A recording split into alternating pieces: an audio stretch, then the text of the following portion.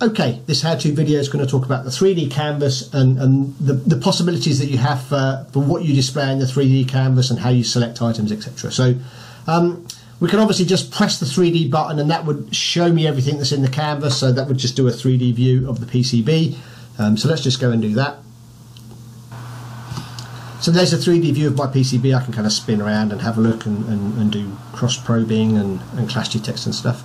Um, maybe I want to do something a bit more uh, specific, or maybe I've got a large design file. So what I can actually do here is start to restrict what items I'm actually sending off. So maybe I turn everything off, and maybe just send the dielectrics, and the, maybe we'll do the pins and the vias um, and the symbols, and we'll just click OK to that and that should speed up our access to the 3D view so when I've enabled the filter I then turn on the 3D view again and that would then restrict the items that are, that are getting sent to the 3D so none of the tracking's been sent.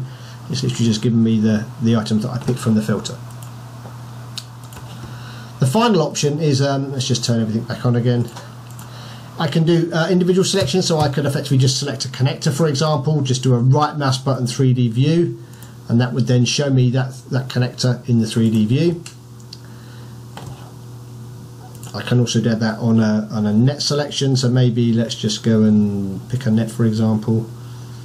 So we'll tab all the way through to the net, right mouse button, 3D view, and then I effectively get the tracks, the pads, the vias that are on that net, and you can see going all the way through the design on the different layers so multiple selections from a 3D view point of view.